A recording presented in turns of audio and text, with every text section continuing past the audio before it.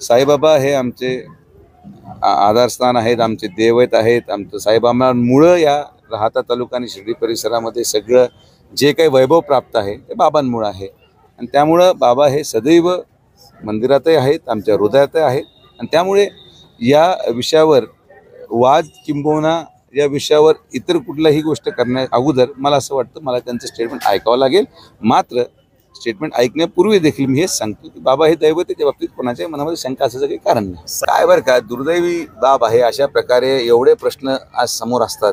शेतकऱ्यांचे प्रश्न आहेत युवकांच्या रोजगाराचा प्रश्न आहे. हे सगळं सोडून आपण या सगळ्या गोष्टी काही भागांमध्ये आणि काही परिसरामध्ये आता राहत्या तालुक्यामध्ये असं कुठे घडणार नाही. मी तुम्हाला शब्द देतो या गोष्टीचा. तर प्रत्येक लोकप्रतिनिधीचा पण आपल्या तालुक्यामध्ये तेवढा विश्वास पाहिजे की त्यांच्या शब्दावर लोक या गोष्टी करणार नाहीत. आमच्या तालुक्यामध्ये अशा प्रसंगामध्ये सर्व पक्षाचे लोक हा काय पक्षाचा विषय नाही पण एक वैचारिकता आणि एक व्यासपीठ जे या तालुक्याला तयार आहे अशा प्रकारे कुठंच आमच्या मंदिरामध्ये होणार नाही किंवा आपण ते होऊ देणार नाही.